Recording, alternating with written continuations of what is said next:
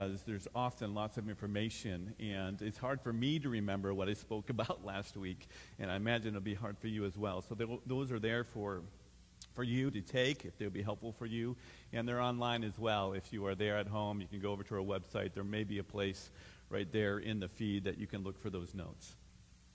Every year, I call three people and make an appointment. One of those three people is my dentist. Every year I go to see her, and she does x rays, which happened just last week, checks over my teeth, cleans things up, reminds me to continue to floss, and fixes anything that might be problematic or something that may be on the edge that she can address. Another po- appointment that I make every year is with my physician. And I go to see him, and he prods and he pokes and he asks questions and he draws fu- uh, uh, fluids from, from my body and tests those things out, making sure that my physical body is okay. A third person I visit every year is another doctor, my skin doctor, because our family has a history of skin cancer and she asks me questions and she looks me over to make sure that everything is okay.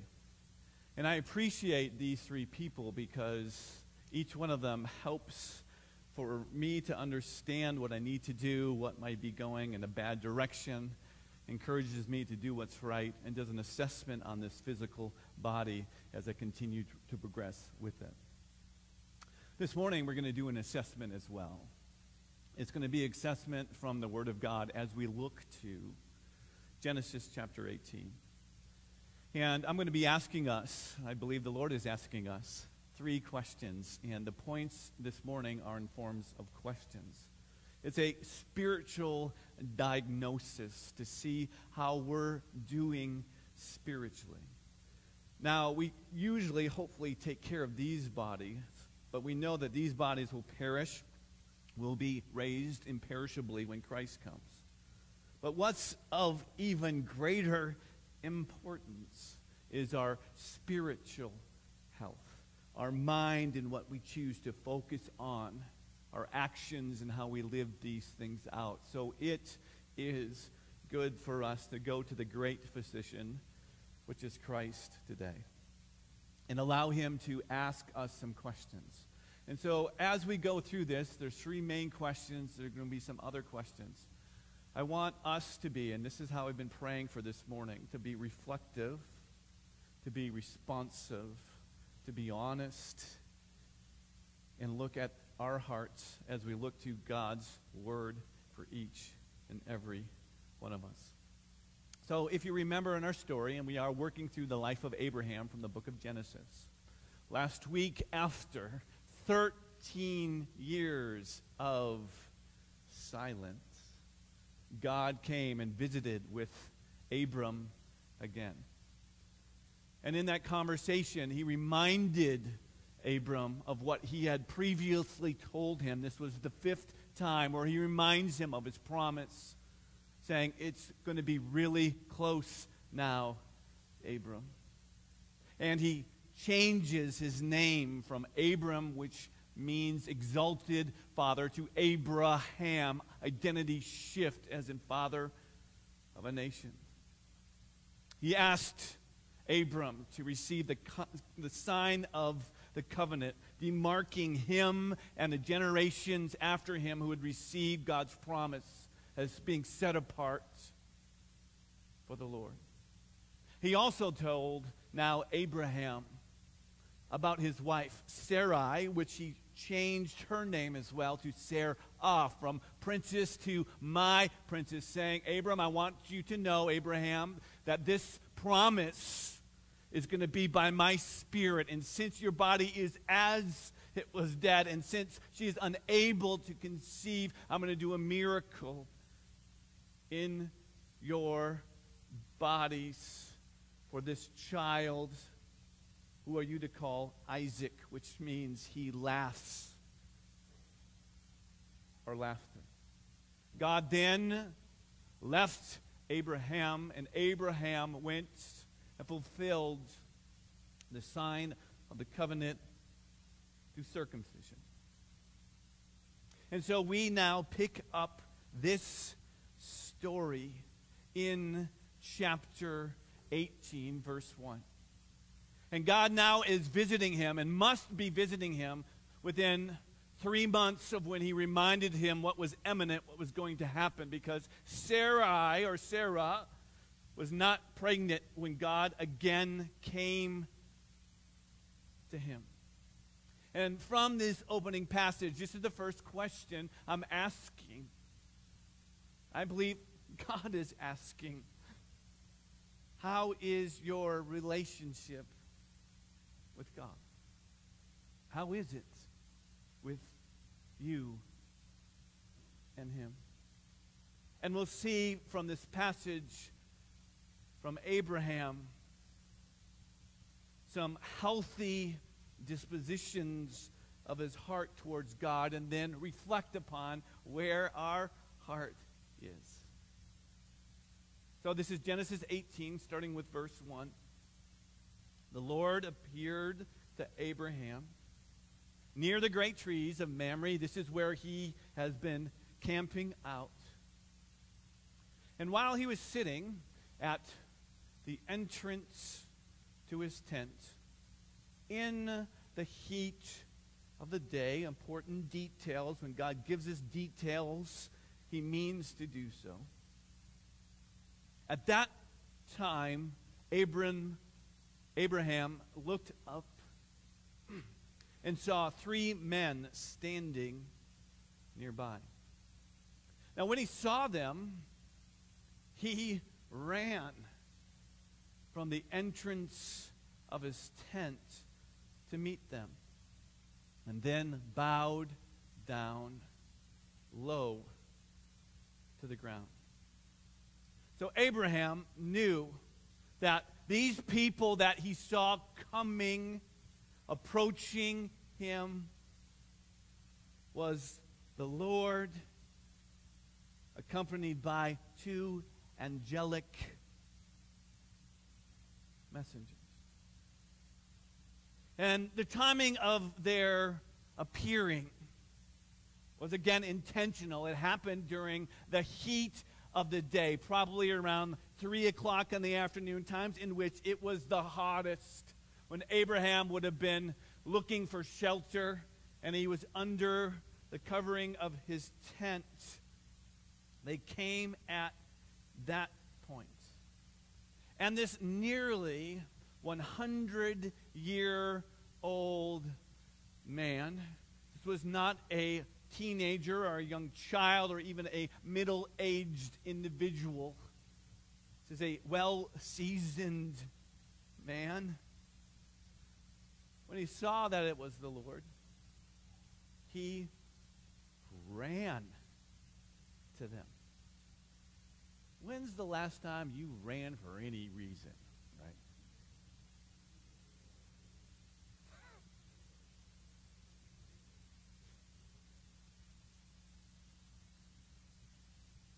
I don't I know very few 100-year-olds who run for anything. Right? And yet here is Abraham. He when he saw that he knew it was the Lord, ran. And so when it comes to your communication and connection to God, do you run to Him?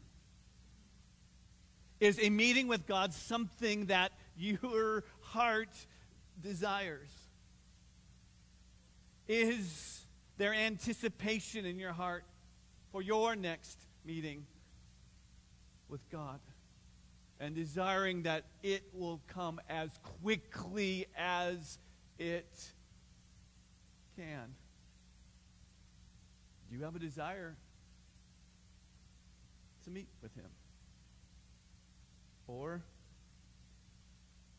is it dull or indifference about meeting with God? Probing questions. Now, after and Abraham saw was the Lord, ran there, made effort. It was hot. He didn't care. He ran. He says he wanted to be with the Lord. And when he met him, he bowed low. So the question is what is your and my posture towards God? Is it one of bowing and honor and respect to Him? Or do we come to God through prayer, through His Word, through worship, with a raised fist or a pointed finger?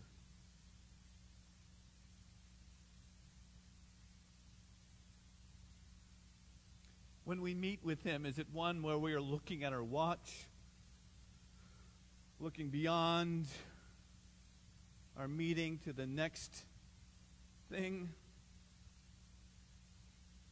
In our interactions with God, do we have a heart posture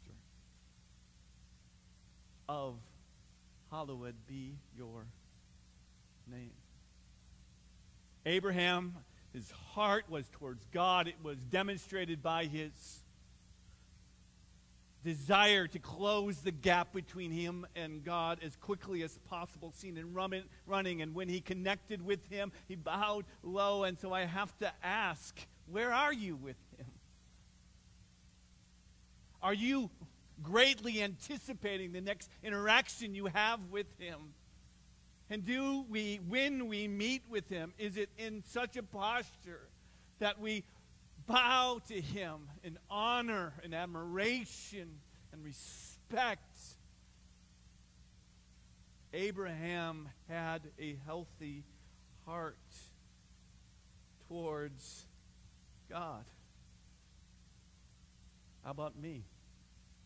How about you? Now, Abraham at this point had been walking with the Lord for at least 25 years. He had a tender, hungry, honoring love for God. That his desire was to be with Him. Do you remember when you first came to Christ, if you are a Christian?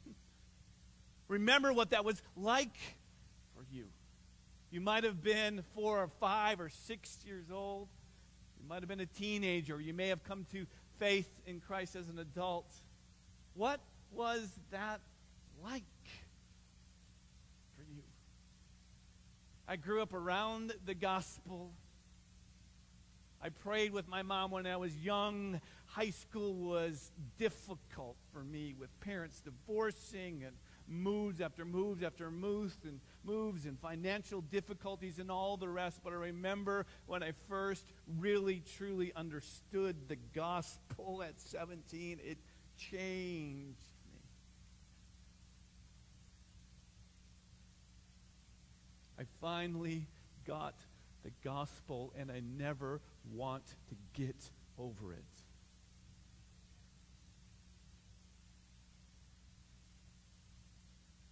How about you?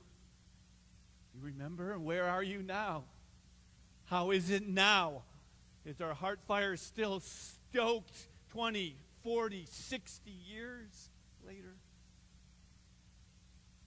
Or, or, or has it kind of faded over time? Abraham's heart was towards God wanted to meet with him, bowed low to him. Verse 3, we read this next interaction. He said, If I have found favor in your eyes, my Lord, do not pass your servant by. Let a little water be brought. And then you may all wash your feet and rest under this tree. Let me get you something to eat so you can be refreshed and go on your way now that I have come, now that you have come to your servant. Very well, they answered. Do as you sight, not presuming that things were okay. It's a humble posture. So grateful to be in God's presence sometimes I think we interact with God that He should be grateful to be in our presence. That's not Abraham. There was a recognition that God could pass him by. He realized that Christ the Lord was doing his will on the earth. It was intentional that he came to him at this time, but that wasn't the final destination, as we will see next week. Abraham realized it and said, Don't pass me by.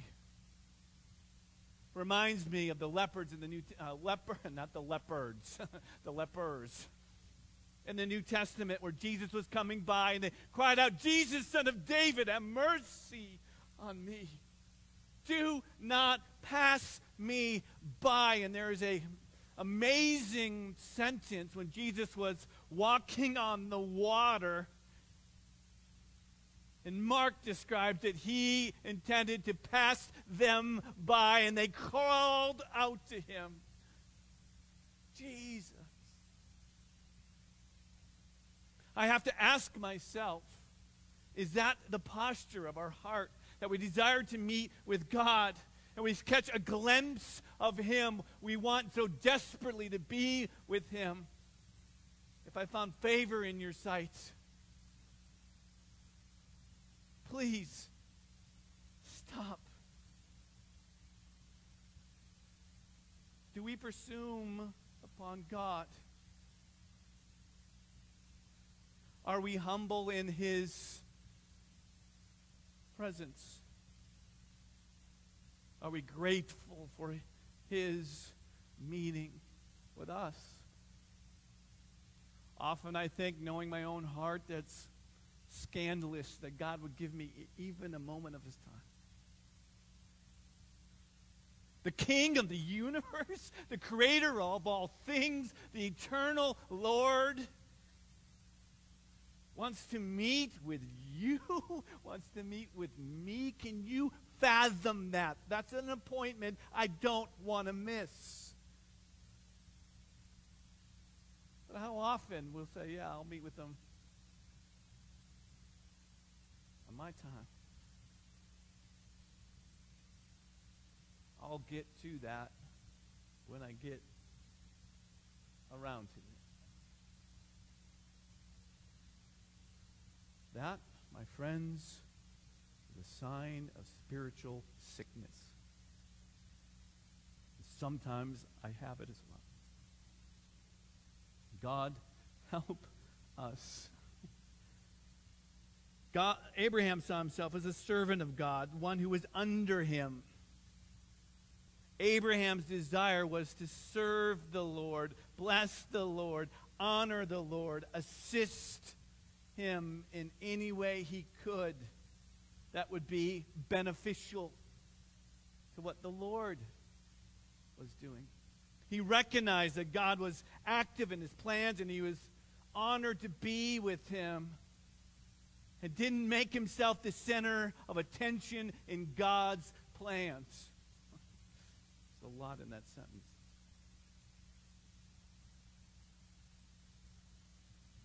So I have to ask myself, and I, we have to pause as the great physician asks us questions. Is our heart's desire to serve God and to bless Him, to honor Him, to play a positive part in His plans? And by the way, we can only do this by His grace. Or has our heart perhaps hardened towards him, thinking he is the one who, who should be serving me? Know often we get that wrong? God, you do what I tell you to do, and if you don't, I'll be done with you. How dare we? You understand who you're talking to? Abraham understood who he was talking to. Saw an opportunity to meet with God. He ran, he bowed low, to Let me serve you in any way that I can. Can I get something for you? Can I bless you? Here, how can I help what you're doing? I love this in the heart of Abraham.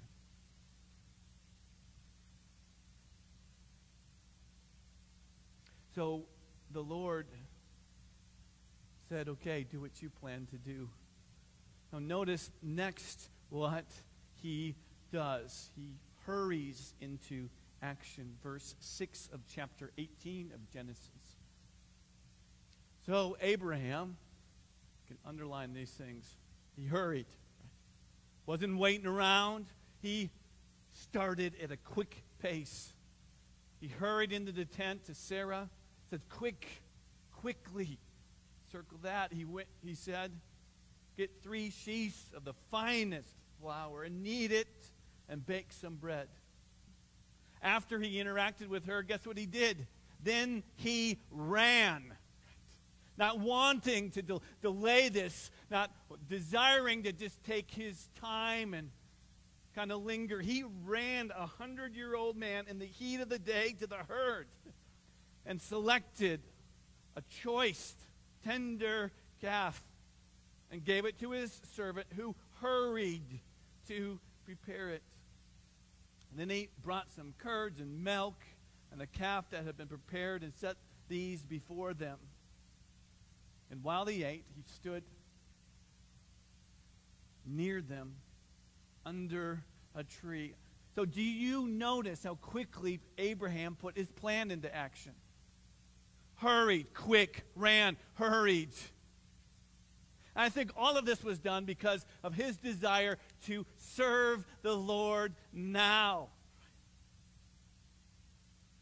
When we have opportunities to connect with God and to serve God, do is it again like, well, I'll do it when I have time, or yeah, okay, do I have to, or really? I have to ask myself that question. Abraham dropped everything he did to give honor and respect and love to God, giving him the best he has, like an honored guest. Sometimes we have the privilege and opportunity to have people come to our home and they're passing through. What a joy it is to say, Here, if you have an honored guest, you can take our bed, and here is the best food we have, and how can we help you? Can, how can we assist you? Is that our posture with Christ?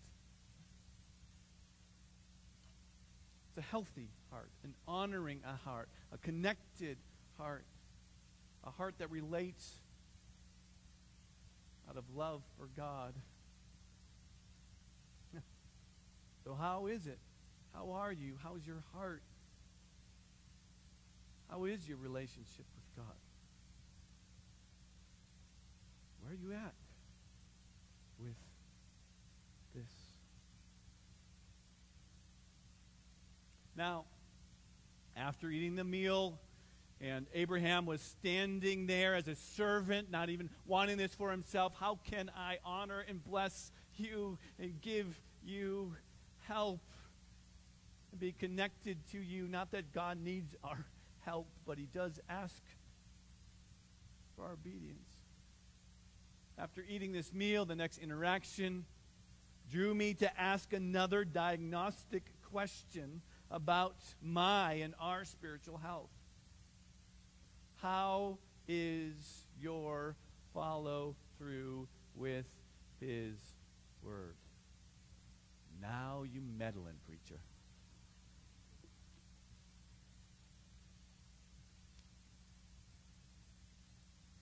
Even people with good hearts that love God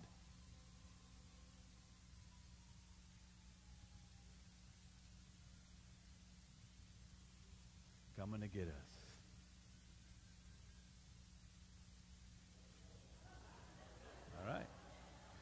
Yes, they'd be here.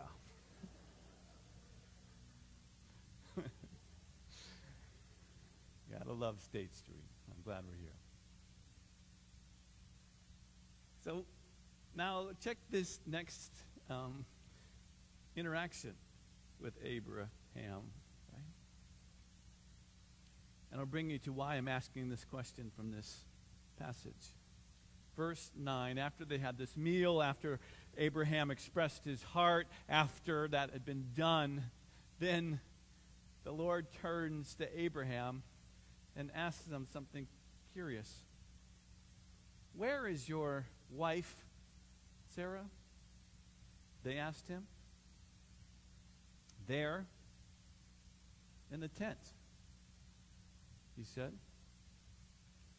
So, what kind of question is this? Right? Remember who's talking, right? This is God. It's not like he needed the information as to where she was. I believe he was asking them the question like he'd asked two other times in the book of Genesis. The first time when God asked the question was to Adam Adam, where are you? Now, he wasn't asking, looking around, wondering where he was, like he somehow lost Adam. It was a question that pointed out that now that there had been some distance between us, Adam, you were hiding from me in your heart, in our relationship. Something has come in between us. Adam, where are you? It was in the vein that Adam could think and notice that there now, as there never had been distance between him and God, and now there was. The second time God asked in Genesis about someone was to this young man named Cain, who had a brother named Abel. And Cain, if you know the story, killed his brother Abel, and God met, met with Cain. And God asked Cain a question Cain, where's your brother Abel? God didn't need to know that information. He knew where Abel was. He was asking Cain, What did you do here? Okay. It's like me before I go to work when my kids are small, telling my two young children, when you're done with your bicycles, make sure you put them back in the garage. And then as I return home, seeing them laying in our front yard, driving into my garage, going into the house, and then asking my girls a question Girls, where are your bikes? You guys understand this question? It's not in that instance that I was wondering where they were. I knew where they were. I wanted to remind them about our previous conversation. I believe it is in that light that God asked Abraham, Hey, Abraham, where's your wife Sarah? Where is she? There in the in the tent. He said. Verse 10a, first part. Now the Lord said, and I imagine he said it because we know from the next couple verses that Abraham's tent was right behind him, right? Close by. It wasn't over there, it's over, over there. Right? I imagine God turning to Abraham, bringing Abraham's attention to where his wife was in that relationship perhaps speaking up a little loudly. I will re- surely return to you about this time next year, and Sarah, your wife, will have a son.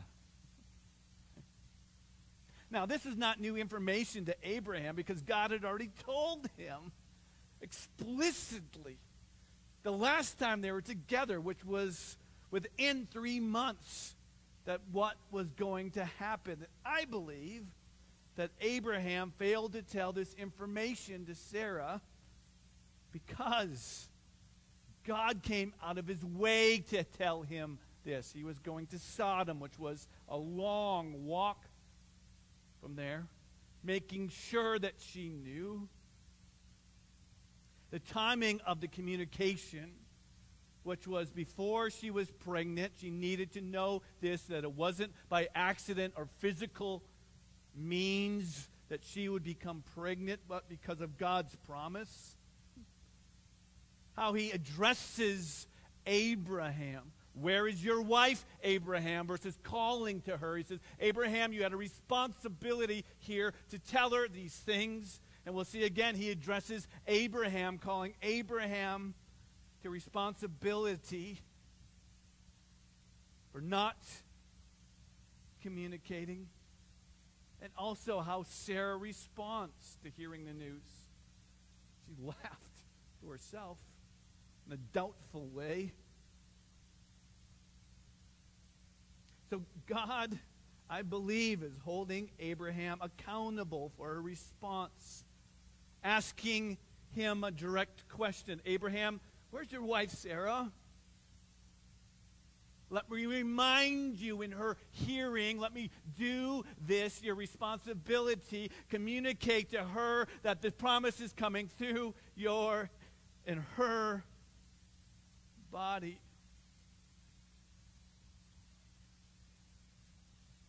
Abraham perhaps was scared to follow up with God's word and communication because the last time he told her a child was going to be born, it didn't turn out well. Right? It may have reminded her that she was barren. For whatever reason, he didn't tell her this piece of information. He told the other pieces to his men, hey, we're going to get circumcised, is what God has done. But he failed to communicate following through. Now, Sarah, verse 10, second part of this was listening at the entrance to the tent, which was behind him. Now, Abraham and Sarah were already very old, and Sarah was past the age of childbearing. To great bring emphasis again to this point. So Sarah laughed to herself. right. And she thought, after I'm worn out and my Lord is old? Will I now have this pleasure? Then the Lord said to Abraham, right? So here she is behind the tent. He told him as he was telling her, Abraham, where's your wife? She heard it. She bit her tongue and laughed her and thought to herself, way.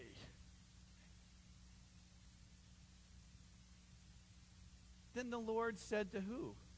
Abraham. Said to Abraham, Why did Sarah laugh and say, Will I really have a child now that I am old? Abraham probably didn't know she laughed, and certainly he didn't know her thoughts. But yet, God held Abraham responsible for communicating his word, the connecting with his wife to help her, per se, in her heart. Abraham, why, why did Sarah laugh? Abraham? Why, why did she laugh? Is anything too hard for the Lord? I will return to you at the appointed time next year, and Sarah will have a son.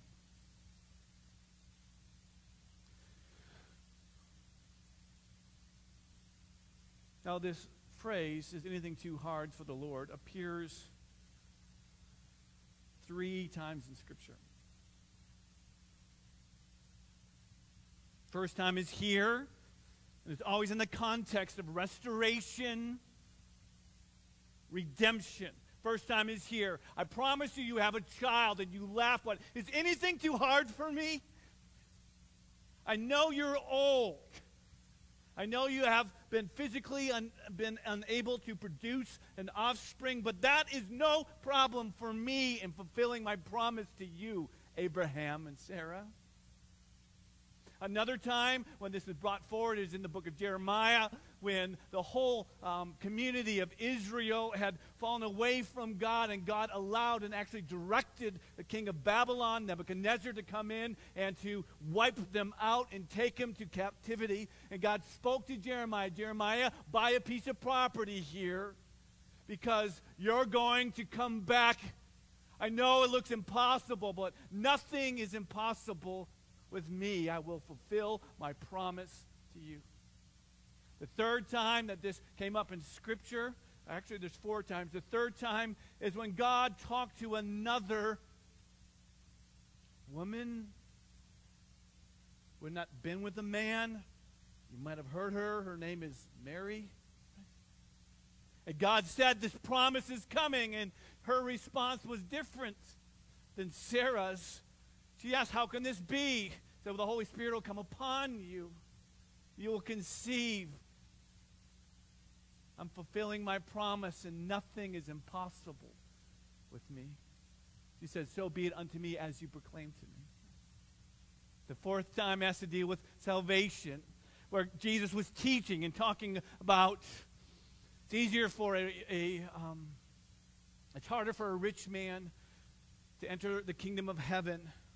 It's like a camel going through an eye of a needle, and that's a whole different message. And the dis- disciples asked him, Well, it's impossible for people to be saved. And he says, Nothing is impossible with God. He is the one who saves and does the impossible. He is the one who fulfills his word.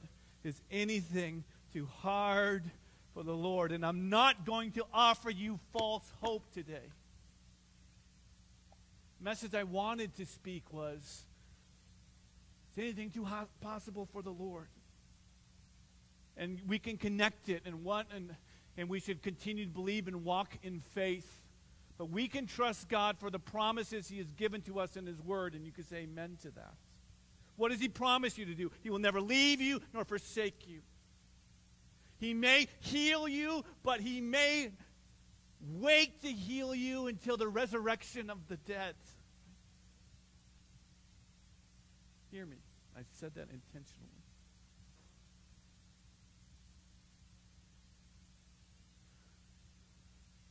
Is anything too hard for the Lord?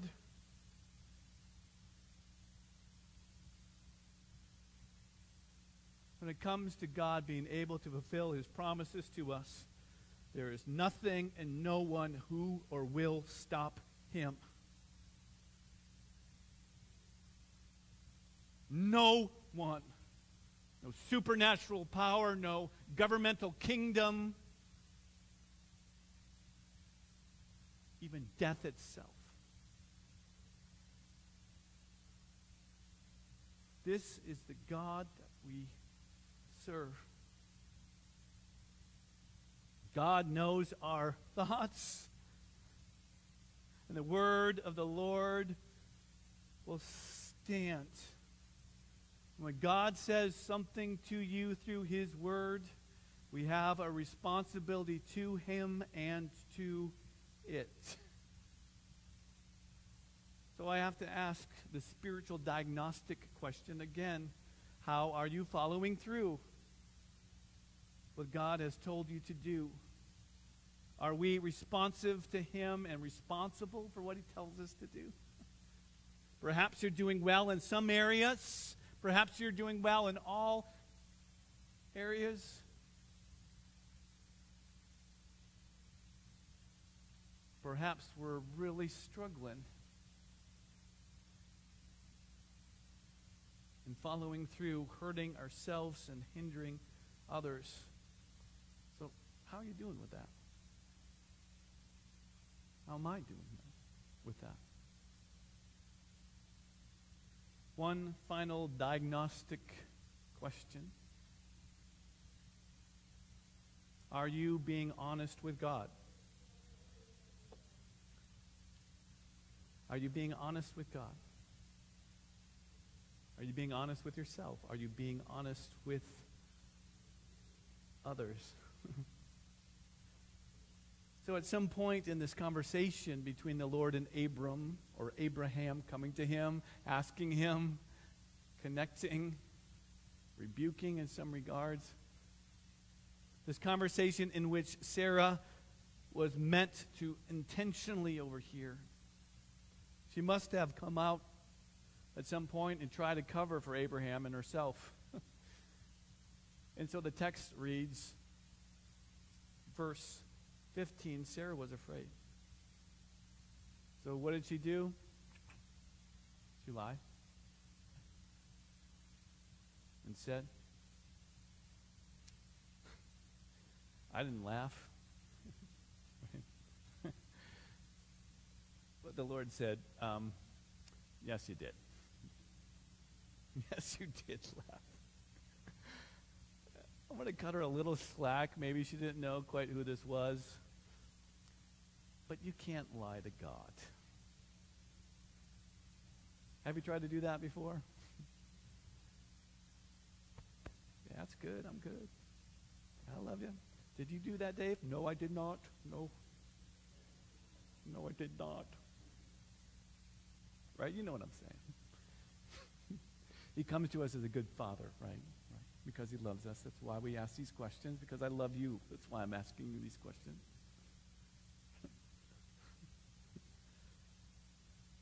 Sarah and Abraham did have a lying problem, by the way. You guys know this?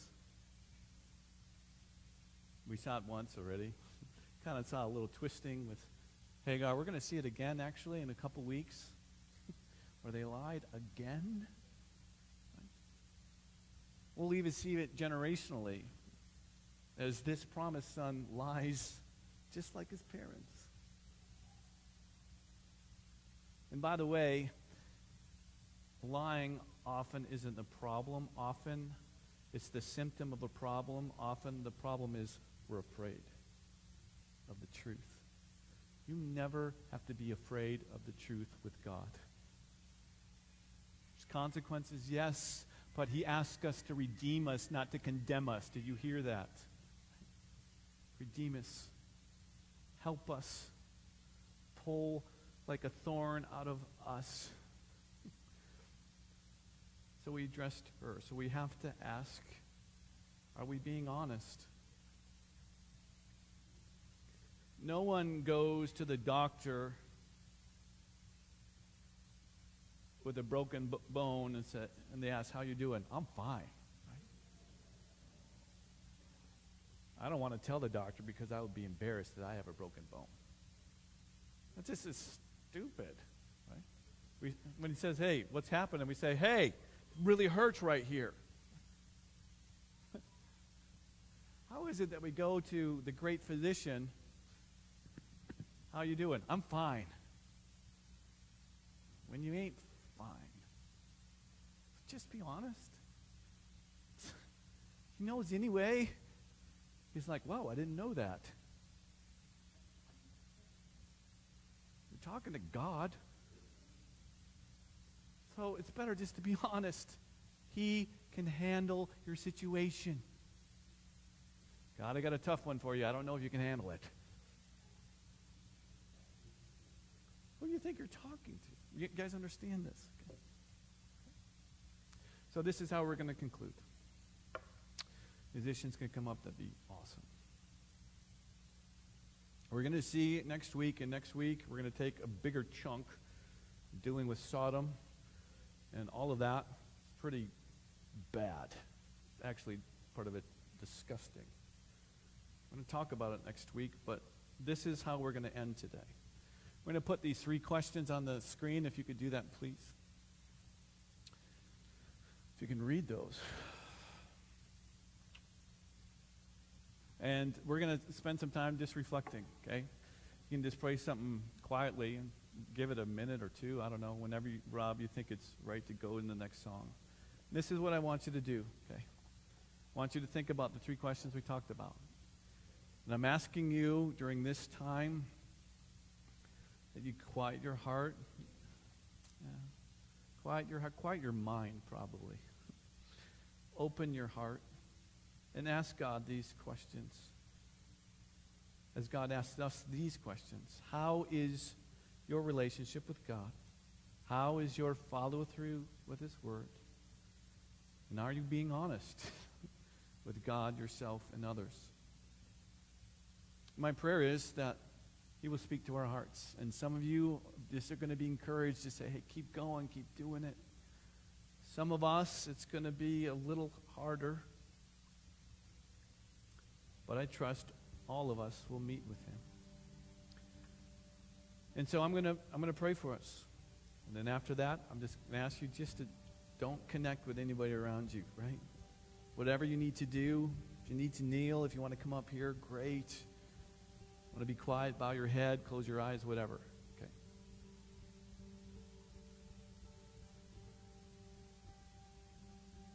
God, thank you this morning.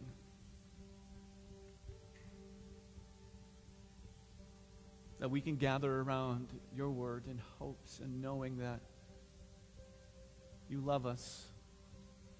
And as our great Father, as our great friend, as our great Lord, you help us.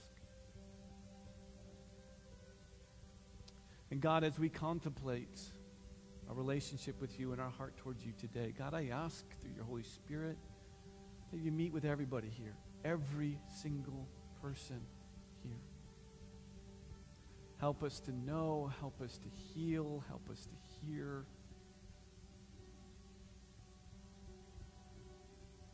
Will you speak to our hearts? Will you help us with our follow through? Will you help us and guide us and care for us? Thank you that you love us enough to come to us, to speak to us, to search for us. God, I ask that we would hear you today. May you be honored in our hearts. Evidenced how we choose to interact with you and the, this world. Have your way in us, we ask in Jesus' name.